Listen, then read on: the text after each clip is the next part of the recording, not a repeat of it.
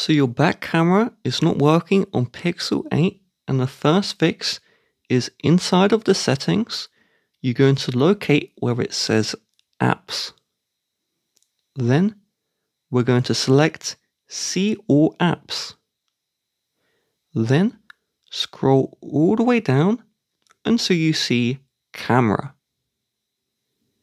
In this one, we're going to try as a first solution to force stop the camera and then in storage and cache, we're going to clear all of the storage and the cache. This will not delete your photos.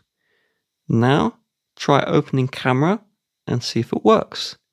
If it does, great, and the back camera is working. But if not, click and release power and volume up, and then tap restart to initiate a restart.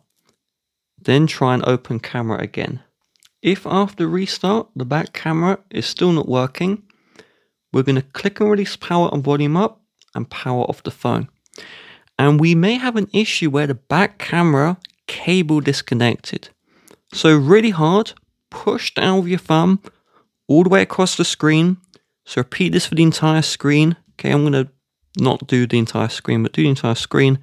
And then do the back, push really hard down all across the phone.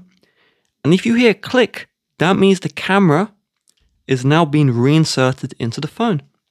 So long press the power button, turn back on your Pixel, and then check the back camera.